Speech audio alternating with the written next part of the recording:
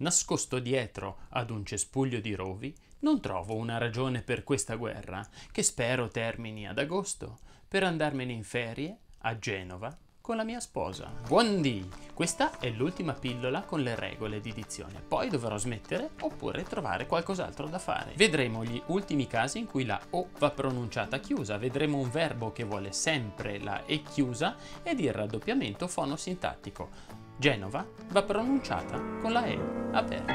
Ma quella faccia un po' così, quella espressione un po' così che abbiamo noi, che abbiamo visto Genova. Ratatatam taram tam tam, ram tam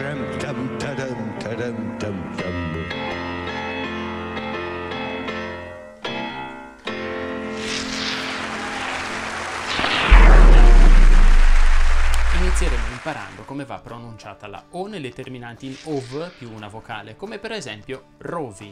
Andremo poi a vedere le terminanti in osco e osto. Infine vedremo un verbo che chiede sempre la E chiusa ed è mettere. E infine la storiella, la commessa e l'alcova. Non perdere nemmeno un video, iscriviti al canale ed attiva io come suona male. La campanellina delle notifiche sarai avvisata o avvisato ogni volta che viene pubblicato un nuovo video. Ricorda, parlare decentemente ti farà apparire come una persona migliore. La O delle parole terminanti in osto e osco anche nelle forme plurali va pronunciata chiusa. Dovresti infatti dire posto, apposto, contrapposto, agosto, riposto, nascosto, losco, fosco, mosto, esposto e così via. L'unica eccezione a questa regola è rappresentata dalla parola bosco. Oh mamma! La gang del bosco.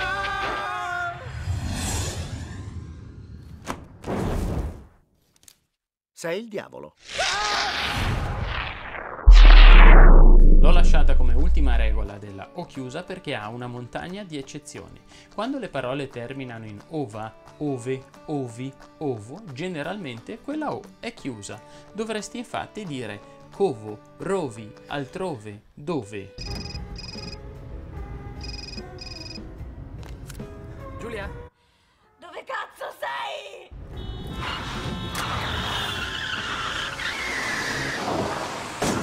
La montagna di eccezioni, dovresti dire alcova, bove, trovo, prova, uova, approvo, comprovo, disapprovo, nuovo.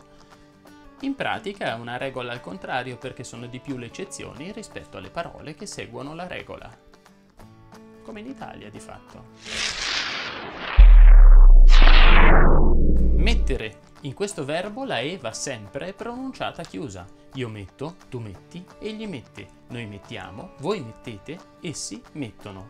In mettiamo la vocale tonica è la, quindi le altre vocali sono atoni. Spero tu sia già andata o andato a vedere questo video che ti ho già suggerito la scorsa settimana. Chiudono anche tutti i verbi che derivano da mettere, per esempio dimettere, commettere, compromettere, sottomettere e così via, e tutte le coniugazioni. Anche i sostantivi che derivano da mettere chiudono, si dice commessa, promessa, compromesso e così via. Poi vado a tutte le messe, ma la raccolta dei cereali è la messe. Ed ora un piccolo pensiero da me composto sulle parole che hai imparato oggi. La commessa era carina. Vieni nella mia alcova. Laggiù, dietro a quei rovi, è un posto nascosto. Le dissi, saremo al sicuro e faremo colazione con tante uova. In genere non approvo chi ci prova con questa delicatezza da bove, ma trovo interessante l'idea di fare colazione con sei uova. Lasciami mettere a posto questo mosto, poi si vedrà. Tuttavia, agosto passò senza che la commessa avesse riposto il mosto, il che mi fece pensare che quello del mosto fosse solamente un losco stratagemma per non visitare il mio nuovo covo. Così tornai nel posto dove lavorava la commessa e le dissi Non è possibile che tu ci metta tanto tempo per un po' di mosto. Dammi una prova del tuo amore.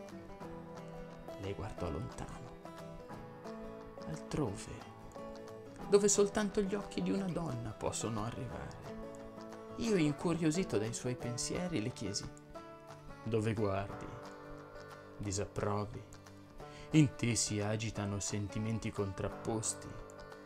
No, mi disse lei, valutavo che quei rovi avrebbero bisogno di essere potati. Così finì la storia tra me e la commessa.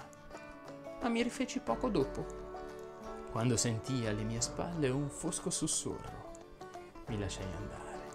Ora sono felice nella mia alcova, dietro al cespuglio non potato di rovi con Andrea, il commesso. Trascrivo la storiella sul sito web con la giusta formattazione, così puoi esercitarti con le parole che hai appena imparato.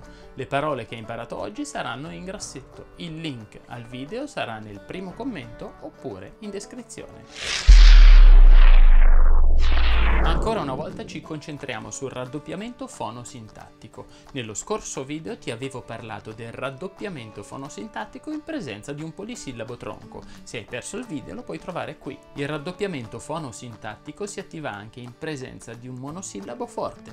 Sono monosillabi forti per esempio è, già, da, ne, può e così via. Perché il raddoppiamento si attivi non è necessario però che il monosillabo sia accentato. Infatti si attiva anche in presenza di a, che, chi, da, e, fa, fo, fra, fu, gru, a, o, me, ma, mo, no, o, congiunzione, po, qua, qui, re, sa, se, so, sa, sto, su, te, tra, tre, tu, va, vu. Volevo dire vo. Ammazza, ti sai ripetere? Facciamo così, scrivo anche quelli nei commenti, va? Ti faccio alcuni esempi, sarebbe giusto pronunciare che vuoi, fa niente, sta buono, tre volte e basta. Ultima piccola curiosità, la parola folla può essere pronunciata con la O aperta oppure con la O chiusa, quindi folla oppure folla. Lo stesso dicasi per matrona o matrona. E poi, mentre registravo, ho avuto l'illuminazione. So cosa farò dalla prossima settimana. Ti insegnerò, come peraltro chiesto da alcuni di voi, come correggere alcuni alcuni difetti di pronuncia. Io ho avuto la R moscia fino a 26 anni, la facevo così. R. Adesso la faccio così. R. Meglio, no? Certo, ci sono voluti alcuni trucchi e un po' di lavoro, ma si può fare. Con un paio di pinze e una buona saldatrice.